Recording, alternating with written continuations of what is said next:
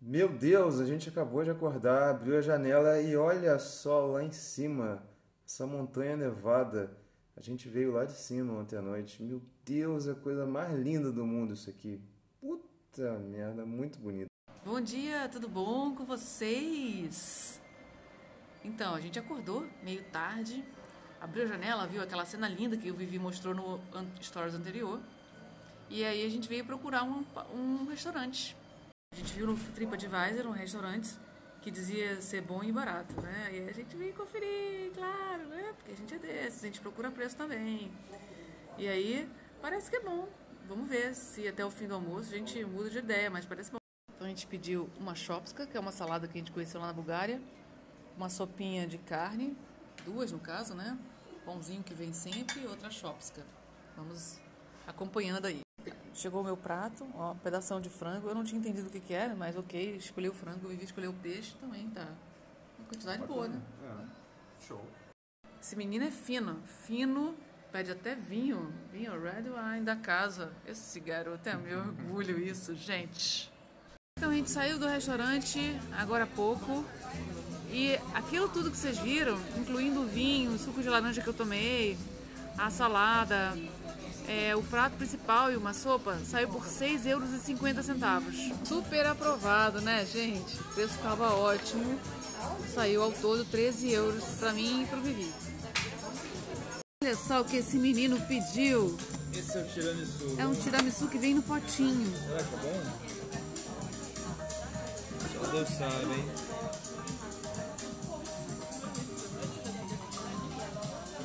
O dia tá feio hoje céu não tá azul, mas tudo bem. Aquilo ali é uma parte da Old Town aqui da, da cidade. Acho que com céu azul vai ficar mais legal. Olha, um dos lugares mais turísticos aqui de Budva é essa praia. Né? Ela tem umas pedrinhas, tem um pouquinho de areia, né? Aquela coisa, né? Que a gente sabe que praia fora do Brasil é, né? Mas é bonito o lugar. A gente acabou de encontrar um local aqui de Montenegro e foi interessante porque ele perguntou se a gente estava falando português. E a gente, ah, a gente está. Ah, vocês são de Portugal? Não, a gente é do Brasil. O cara ficou tipo assim, uns 15 minutos conversando com a gente. Aí a gente conversou um pouquinho mais, aí ele não queria ir embora, queria puxar assunto. Aí quando a gente falou que era nômade digital, ele, cara, digital nomads!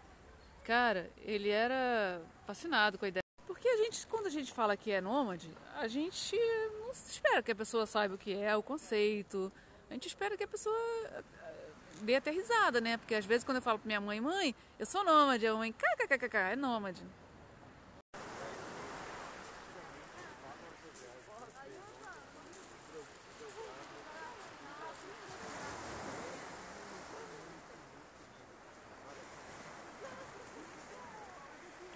E o cara daqui tava segurando um bebê, devia ser o filho, filha dele e tal.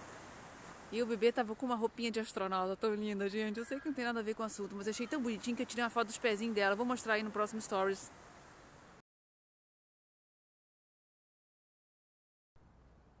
Olha que bonito isso aqui, gente.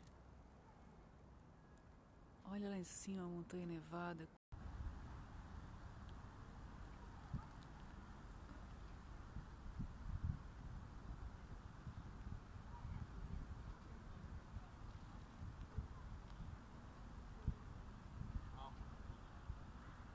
A gente ainda não tá com a internet no celular, né? E aí a gente foi num café. Tô rindo já da situação. A gente foi num café e aí a Paty toda crente que ia conseguir o Wi-Fi o Wi-Fi não funcionava. Aí eu falei pra Paty assim, então Paty, o Wi-Fi não tá funcionando, você vai ter que se conectar com seu Wi-Fi interno, com seu interior. Poxa, se conecta com ele, você vai poder ficar na maior paz agora. Dar uma panorâmica aqui para vocês. Essa aqui é a prainha mais bonitinha que tem aqui. Aqui tem a muralha da Old Town, tá vendo aqui já o exterior dela. E continuando lá no fundo tá estão as montanhas e eu acho que tá nevando lá em cima. E se for nessa época de inverno com tudo nevado, melhor ainda, não é, Patita? É, Cara, sim, sim, sim. foi surreal ontem. Tem um cenário assim, tem um é, imagina aqueles rochedos enormes assim, você passando por um vale no meio Os rochedos tudo completamente nevado, cheio daquelas neves em cima e tudo mais. E no meio do vale um riozinho passando do lado assim, de onde você está indo com o carro ou com o ônibus. Cara, é um cenário surrealmente lindo. Quando vocês vierem aqui para essas bandas aqui do leste europeu, se vocês puderem, definitivamente façam essa viagem que a gente fez ontem de, de Belgrado aqui para Montenegro. É muito, muito, muito lindo o caminho. Vale a... Na parte da Sérvia, a estrada é muito boa em todo o trajeto. Tem uma parte que é da highway, né, que é duplicada e tal, e depois entra para a parte lá da montanha. A, a estrada continua boa. Aqui em Montenegro é que tem alguns pontos, tem alguns pontos aqui em que a estrada está em obra, então não é tão legal assim, mas também de boa, assim, dá para levar legal. Mas o caminho realmente é lindo demais, deve ser um dos caminhos mais bonitos assim para se percorrer de carro, né? Olha, agora a gente está entrando aqui dentro da Old Town, a cidade velha, que é toda daquele jeito medieval, super bonitinha, toda murada. E é bom nessa época que não tem tanto. Hoje o dia não está bonito, mas dá para ver aqui alguma coisa. Olha, isso aqui é, é ao lado aqui da Old Town. Tem uma galera ali, tem até uma plateia aí, olha só que louco. Tem uma igrejinha ali. Isso aqui, olha, olha, olha, olha o que tá lá. Olha isso, gente. Marzão e lá atrás, majestosamente, a montanha toda nevada. Isso não é muito feio não, né? Fala sério. Tomamos o nosso cafezinho aqui e começamos a pensar, será que a gente não deveria viajar de forma motorizada como outros nômades fazem? Estamos pensando, até gostamos, olha, a gente achou aqui um veículo bem legal.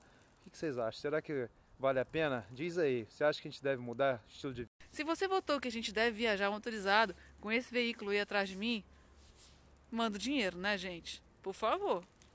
Pode fazer o depósito que a gente aceita numa boa. Como se os depósitos não chegaram ainda, a gente vai começar com um barquinho mais humilde aqui, tá, galera? A gente vai ver, vai escolher um aqui, vai reformar. Daqui a uns três anos, mais ou menos, a gente sai com ele até o outro lado ali da praia. Olha que bonito, gente esse fundo montanhoso com neve em cima é realmente muito lindo. Tem uns pobres aqui também, ó. Hora de supermercado, né, amor? Para abastecer a casa. E onde você tá? Em que seção você tá? É, a seção do pãozinho sérvio. Oxi, Maria, isso não vai prestar não. Vai prestar não. Ah, não vai levar isso não. O moço aí já tá de olho onde? Onde? Nos vinhos. Vinho de 2,60. Eu acho Ó, que eu vou experimentar. Vinho de 2,55 euros. 2,60. Nossa, 1,50. 1,50. Vai que é bom. 1,50? Ó. Você vai acordar com a dor de cabeça no dia seguinte. Acabamos de fazer as nossas primeiras compras no supermercado aqui em Budva. E cara, eu achei sinceramente que os preços estão melhores do que os preços de Belgrado. Eu tô achando isso, que tá tudo mais em conta. Então voltamos para casa, arrumamos as coisas do supermercado e montamos uma mesinha singela para fazer umas, né, fazer uma boquinha. A gente já matou todos uns negocinhos que a gente tinha comprado aí de folhadinhos. Juju. Só tem um. Juju. Esse é o Juju.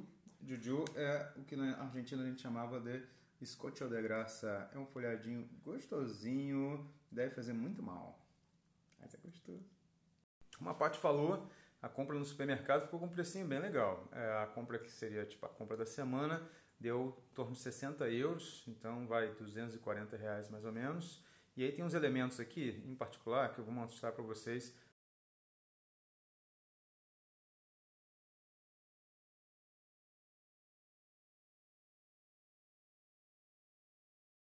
Viu o precinho da cerveja? A mais barata é 49 centavos de euro, ou seja, dá 2 reais. E eh, isso por uma lata de meio litro, nada mal, né? Agora eu vou mostrar para você o vinho que a gente comprou aqui. Viu? O vinho é custa 1,50 euro. Imagina, hein? 6 reais. Será que esse vinho é bom? E é um litro, galera. Bom, eu não sei qual é o tamanho da ressaca que a gente vai acordar quando tomar esse vinho. é um mistério. Agora que a gente já falou aí algumas coisas legais aqui sobre Montenegro, deixa eu contar uh, um detalhe importante para quem deseja entrar nessa vida nômade aí. e, claro, tá assim como a gente trabalhando também da estrada, né, enquanto viaja. Toda vez que a gente muda de cidade, existe uma perda aí de tempo envolvida nesse processo, que tipicamente é de pelo menos três dias. Por quê? Porque o dia antes da viagem a gente perde no processo de preparação, o dia da viagem tipicamente é perdido também. Trabalho costuma ficar comprometido né, no dia da viagem, especialmente numa viagem como a de ontem, que levou 13 horas assim só dentro do ônibus. Então imagina, é um dia que você acaba não conseguindo trabalhar praticamente nada, é um dia perdido. E também, e o dia depois de quando a gente chega também costuma ser meio que perdido por duas razões. A gente tem que resolver as coisas básicas do dia a dia, tipo fazer compras, é, comprar cartão telefônico assim por diante, e também dar uma passeada, uma explorar, poder ter uma ideia mínima do local, das redondezas, é, enfim, se achar é, naquele lugar onde você está ficando. Então a gente tem que ter isso na nossa programação, saber que meio que vai perder esses três dias aí quando muda. Até por isso não dá para a gente ficar trocando de lugar o tempo todo. É por isso que, no geral, a gente fica no mínimo um mês em cada lugar idealmente em torno de dois, dois e meio, porque isso diminui a quantidade de trocas e, portanto, as perdas né, que a gente tem de tempo e as interrupções que a gente tem no trabalho né? Porque afinal isso não é uma viagem só de, de turismo, é uma viagem que a gente está trabalhando, a gente tem que ser produtivo também no trabalho, não pode ter interrupções.